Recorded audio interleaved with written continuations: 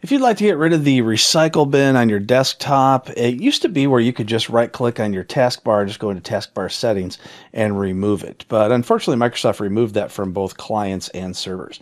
So if you want to get rid of it, you have to go into your domain controller or go into your local security policy if you don't have a domain controller or it's just a computer that's not a member of a domain. Either way. And we can go in and remove that just by making a few clicks. So I'm going to go into my group policy management. And you can do this on the default domain policy, or you can go ahead and create a new one. I always like to create a new policy so that way you know what that policy has. So I'm going to create a new group policy object. I'll call it block recycle bin, and I'm going to have it apply to everybody. So then I'm going to right click on it and choose edit. And by the way, this is a good lesson not just for blocking the recycle bin, but if you want to do anything using group policy, so when a client logs in, they either see or don't see something, then you can use these group policies for that purpose.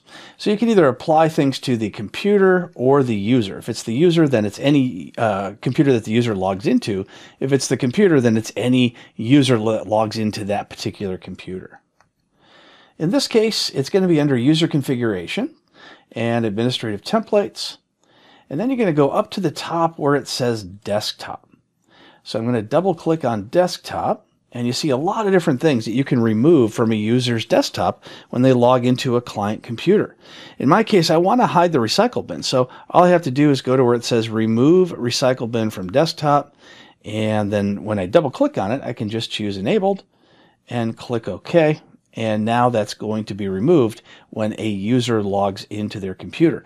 Now, in this case, it's also going to remove it from the servers, domain controllers, all that kind of thing, because I put it at the top level of my domain, as you see here. That means it's going to affect everyone unless they have a block policy. Now, you can do the same thing if you just go to local group policy, and you'll see a similar type of a setting. So I'll go ahead and edit that local group policy. And this only affects users that log directly into whatever computer you're on. So once again, you're going to go into the user settings. This is just going to affect any user that logs in, administrative templates, desktop, and you're going to remove the recycle bin or whatever else it is you'd like. So that's if you want to do it on a workstation or a server. If you want it to affect everybody, then you do the group policy way that I just showed you. So that is how you hide or remove your recycle bin in your computers and in your domain using Windows Server 2022 as well as any client computer.